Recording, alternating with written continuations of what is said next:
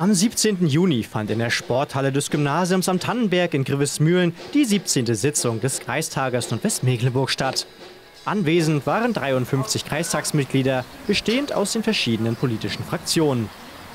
Nachdem Kreistagspräsident Thomas Grote die Sitzung eröffnet hatte und allgemeine Informationen mitteilte, sprach der stellvertretende Landrat Matthias Dietrich über die niedrige Inzidenz im Landkreis, den Fortschritt im Impfen sowie über das neue Impfzentrum in der Hochschule Wismar. Landrätin Kerstin Weiß war an diesem Abend nicht vor Ort.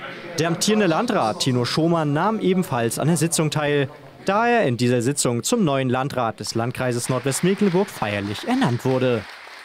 Ich bin jetzt äh, begeistert, auch ein wenig erleichtert, dass der Akt der Ernennung vorbei ist.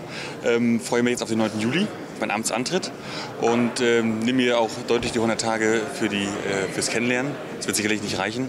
Ich habe mit Kollegen schon gesprochen, die äh, meinten, wir brauchen ein Jahr dafür, um die ganzen Strukturen und so weiter kennenzulernen.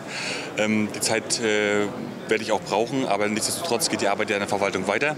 Und äh, ich möchte jetzt die Abläufe, die Strukturen kennenlernen, um eben daraus auch meine Strategie, meine Ziele zu, ja, umsetzen zu können. Und das ist meine Aufgabe für die, nächsten, für die nächste Zeit. Ähm, und äh, darauf freue ich mich. Verschiedene Kreistagsmitglieder der Fraktion wünschten dem neuen Landrat eine erfolgreiche erste Amtszeit. Erstmal Glückwunsch natürlich nochmal an Tino Schomann. Und zweitens ist natürlich klar, dass er ein glückliches Händchen braucht. Äh, es gibt viel zu tun. Ich sage mal nur ÖPNV, die Verwaltung neu zu strukturieren, das Bauamt äh, umzugestalten im Sinne der Bürgerinnen und Bürger. Ich glaube, das sind drei ganz wichtige Punkte, die wir alle verlangen auch von ihm. Aber ansonsten hat er natürlich erstmal seine 100 Tage Schonfrist.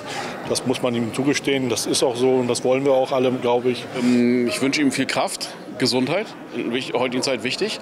Und wir hoffen auf eine äh, faire, neutrale Amtsführung. Wir hoffen, dass er in der Kreisverwaltung Akzente setzen kann.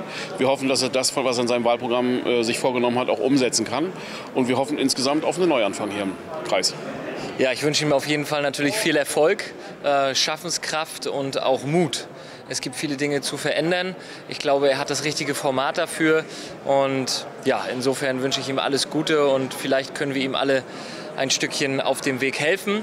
Und wir sind dafür bereit und denken, dass wir damit die richtige Entscheidung getroffen haben und dass es jetzt vorangeht für den Landkreis.